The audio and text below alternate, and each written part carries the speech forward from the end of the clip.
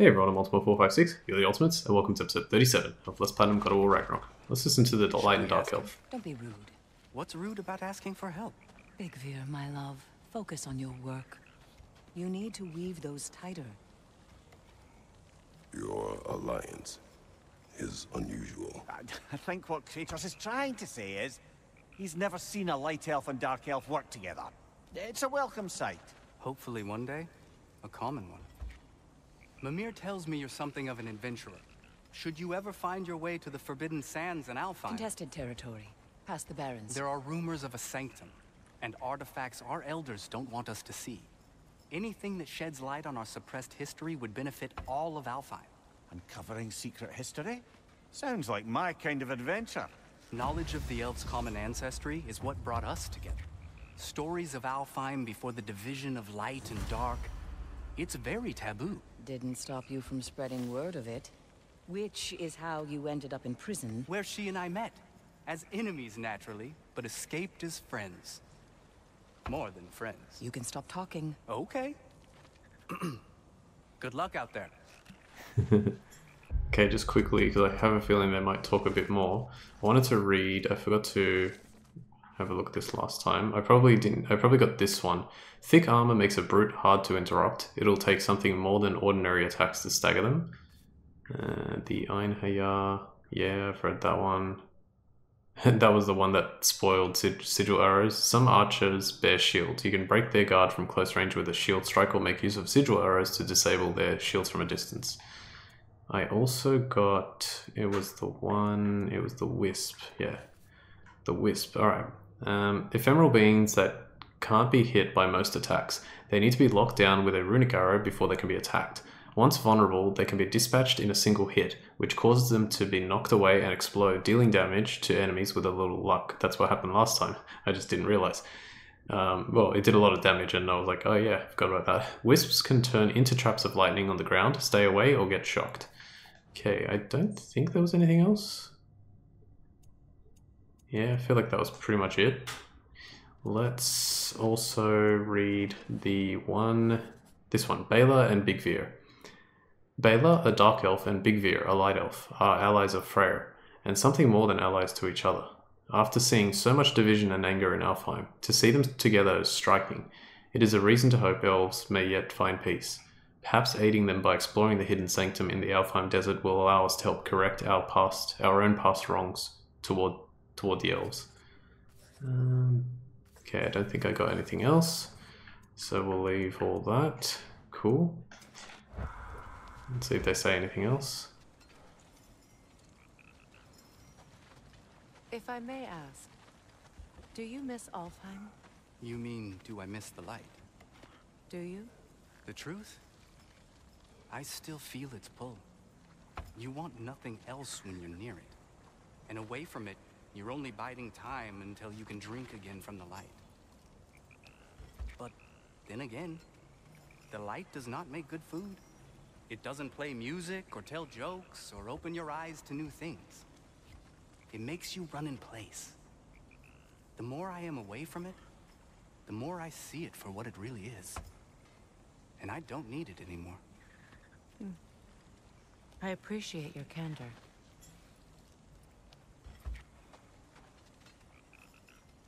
Is someone going to ask me if I miss the light?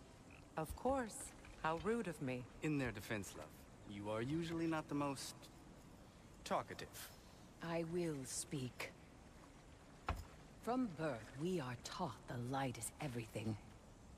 The elders say it is why we fight. But all of that? It's shit. I am more than the Hive. More than a soldier. Light elves, dark elves. All elves are the same. Stubborn. Brainless as moths, blinded by their light. I know better now. I looked into the shadows, and there I found my people. My home. There. That is all I have to say. You can go away. Thank you for sharing. Okay, cool. Let's uh, go. So earlier I didn't go this way because there were some runic words, but I wasn't allowed to accept this for whatever reason without Mimir, so now I have him, and we can. Reminds me of a Vanaheim song I heard long ago. The Vanaheim Lullaby. I bless the rains of Vanaheim. Words from a traditional Vanaheim song. In Greece, the rains served as a reminder to worship the gods. Do the people of these lands worship the rain alongside their gods? nice little reference to Toto's Africa, I believe. I bless the rains down in Africa. Okay, uh, another one of these where we can't get past, so let's ignore it. And this, I believe, leads to a similar dead end. We can head out the way we came. Alright, so Done exploring, Kratos. Yes. Now, in terms of upgrades, I'm. Oh, hang on, we got conversations. Lunda, would you happen to know how your light and dark elf friends came to be involved? You mean Big Fair and Bela? Well, they were both in prison by one side or another, or maybe both. Escaped together, been on the run, and absolutely all over each other ever since. A dark and light elf fleeing their people together. Quite a risk. Being in love's always a risk. That's what makes it fun. You could say the same about hot cheese. That's a genius. Lunda, what do you know of Birgir the Traveler? Not much. I ain't the talking type, really.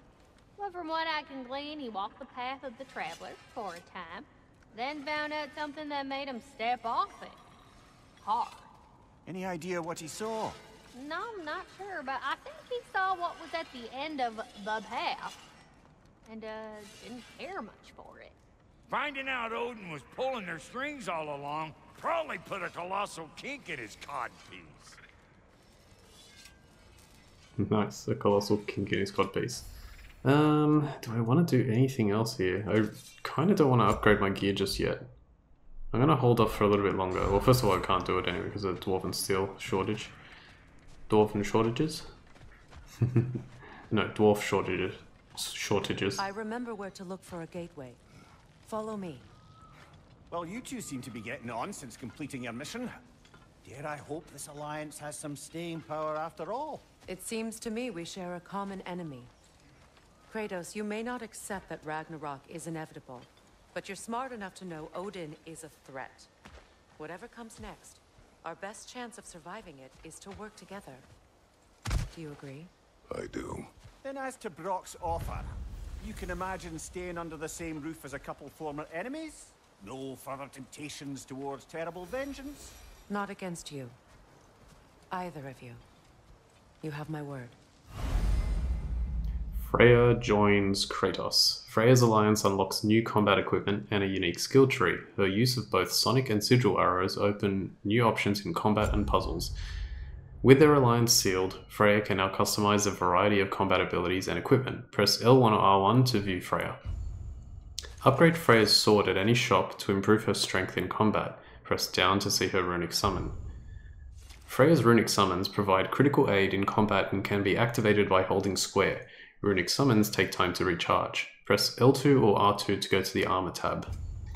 Find and equip different armor to change Freya's look. She also benefits from shared accessories that adjust combat style for her and Atreus. Press L2 or R2 to go to the skills tab. Freya has a unique skill tree that uses XP she earns separately in combat and quests. Unlock Vine summons, poison attacks, Valkyrie moves, and other skills. Press X to view her skills. Here we go. Yes, so we have yet another skill tree. Entangled Grip. Freya can spawn vines from the ground that root enemies in place. So she comes with that one automatically. Uh, Freya's vines root enemies for a longer duration. Freya can summon vines that grab an enemy lying down and release a cloud of poison. Pretty good. Runic arrows deal increased status damage. Sonic explosions caused by Freya have an increased area of effect, and hex explosions caused by Freya's sigil arrows have an increased area of effect. Uh, this one, sorry. Freya enters her Valkyrie form to slash through enemies. Freya becomes much more aggressive in the battlefield, parrying and charging in at enemies more often. Alright, let's give her her Valkyrie form. I feel like that's just a nice bonus to have. You want to also deal more damage with runic arrows. Um, don't know about longer. We can only get one more. Oh no, we can get two more. We'll grab Hex explosions caused by Freya's sigil arrows have an increased area of effect. Enemies hexed by Freya's sigil arrows have less resistance to stun. Oh, I didn't know that one. Uh, more aggressive, sonic explosions. Maybe this one. Freya can summon vines that grab an enemy lying down and release a cloud of poison. So just a bunch of passive stuff, really.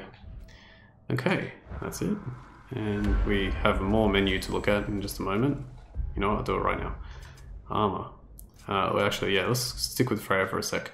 So her armor is only cosmetic. So here's one, Tattered Witch Frock, or the Warrior's Battle Dress, an armor crafted by one who is ready to finish the fight. A frock that reminds its wearer of better days and simpler times. I don't usually use this one, but I'll use it for this. Compare. um, yeah, I'll use it for, for now for a little bit. I'll keep, keep changing them around. Right, so oh, I was supposed to get the uh, there is a shop coming up, so it's not too bad. I can probably get it then. Let's do Sonic Arrows, deal increased status. Uh, uh, melee attacks against enemy afflicted with Sonic dealing greatly increased stun. And just this one. Just doesn't really matter, put any for now. Okay, so Leviathan Axe. Let's have a look at our new abilities. We can now get Returning Storm. Press L1 plus R2 while barehanded to quickly recall the Leviathan Axe and perform a powerful leaping slam attack that knocks enemies backward and deals high frost. Sounds good. For Whirlwind Sweep, which was the wait momentarily, I can't believe I've used it 29 times. If we get this one, we can do Whirlwind Throw, which is exactly the same thing except you press R2 and he does that, which is awesome. Uh, now, here is one of my favorite abilities, Pride of the Frost, a heavy attack finisher at the end of the light attack combo. Press R1, R1, R1, R2 to perform, deals high damage and frost, and launches enemies. Love it. And lastly, Frost Awaken 2. this is so good. Hold triangle while sprinting to activate Frost Awaken quickly. Finally, another way to uh, activate it and a, a, good way at that. Let's have a quick look. So I need Frozen Spike, Frozen Lance. These ones are done. Uh, 21, 30. I still need a few more freezing throws. All this is going to happen eventually. Serpent Snare still needs 10, all of that, and 10. All right. All right, what did we get for the blades, we got Chaotic Rampage 3 adds a powerful finisher to Chaotic Rampage. So I've been using it a fair bit more. That one costs 3000, so I'm going to hold off for a sec. Hyperion Grapple 2. Striking a grounded enemy with Hyperion Grapple causes a fiery impact that sends burning sparks forward, damaging enemies behind your victim. That's really good. Ah, okay, we definitely need Furious Immolation. So this is basically the L1 triangle move. We can um, just basically enhance all of the Blades of Chaos melee attacks with burning explosions that deal additional that build additional rage. Okay, did not know that. That's good to know. Uh, Scorched Earth 2. Striking an enemy during its attack with Scorched Earth significantly increases the damage dealt. Okay, I also want to check this. So this is 2,500. So that's 5... Ah, man, I'm just short. Alright, so... I think I want Chaotic Rampage first. So let's grab that. And then we have enough to get... We're really close. I'll grab this one. I'll grab this one. What was this one? Striking an enemy during its attack with Scorched Sweep. Okay. Uh, I prefer Sweep. Let's go with Sweep instead. And then we need 600 experience to get that. Alright, we're getting there. Let's keep going.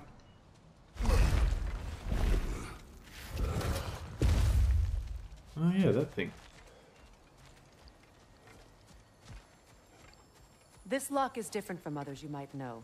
You'll need an enchantment on your chisel to use it.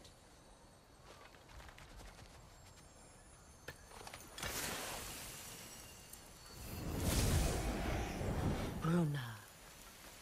Go ahead. Carve the letter. Carve a rune into the hidden chamber door so Freya can open the way.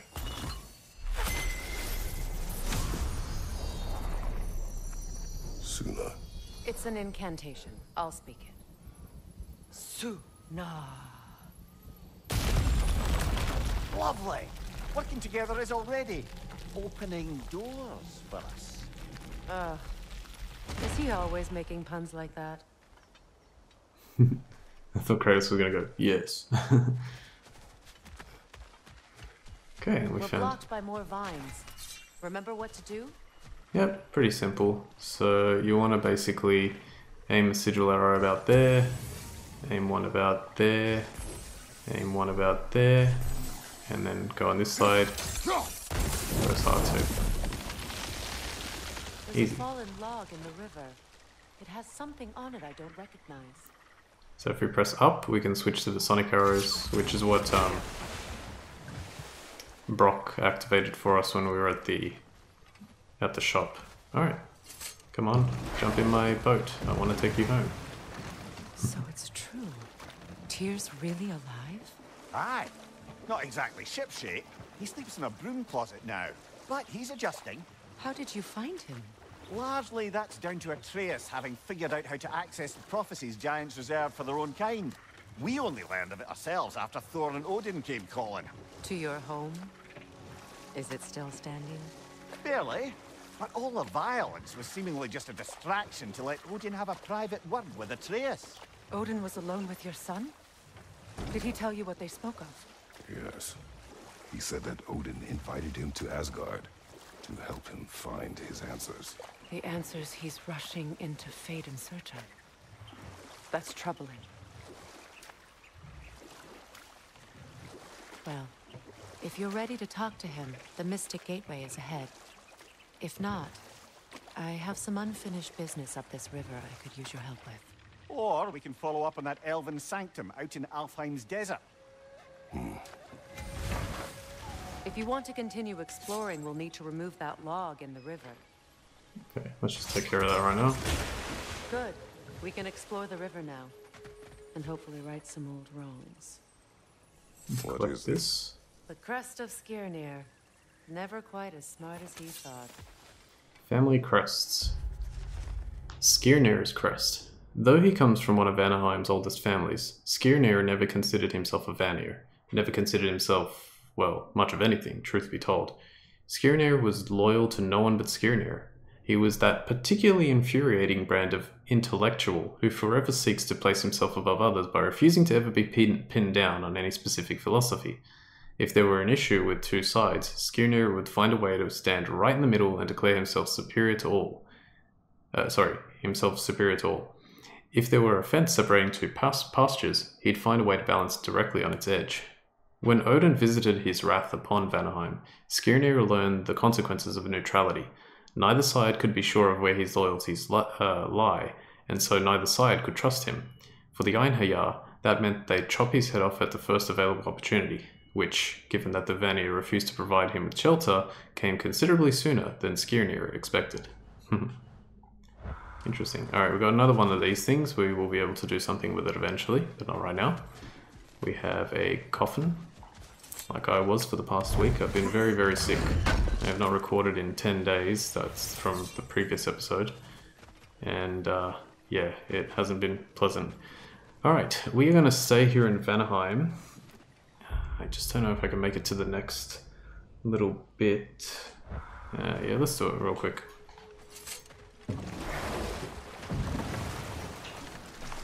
So we have two paths that we can take. I'm going to ignore the right path because the only thing that's there is a couple of pots that you can get hack silver from. It's not much, and it also leads back to Freyr's camp, but we can't get there because we're blocked by something. So instead, let's go this way. And get a giant droplet of Yggdrasil Vitality Dew. What is your unfinished business? I left something behind, near the falls. Your wedding site. Now, why do you want to be going back there? To be free of the bonds of my marriage. And to Asgard. I think you severed that a long time ago. Not completely. Not enough. Guide us. Brilliant favorite name, Freya's Missing Peace. Alright, so this quest is actually going to take us quite a long time. I'll, uh... I'll make sure to track that one. Doesn't really matter, but I'll make sure to track that one. My people settled this river many ages ago. Thousands traveled it on pilgrimage to the shrine of worship. But then the Aesir came. This is all that's left. Reavers, of course. Okay, that's beach. Yeah, this this part is difficult to navigate. Um, I'm just gonna hang back for a sec. We'll uh, we'll start this fight next time. All right. For now, I want to thank you all for watching episode 37 of Let's Platinum God of War Ragnarok. My name's Ultima456. You're the Ultimates, and I'll see you next time.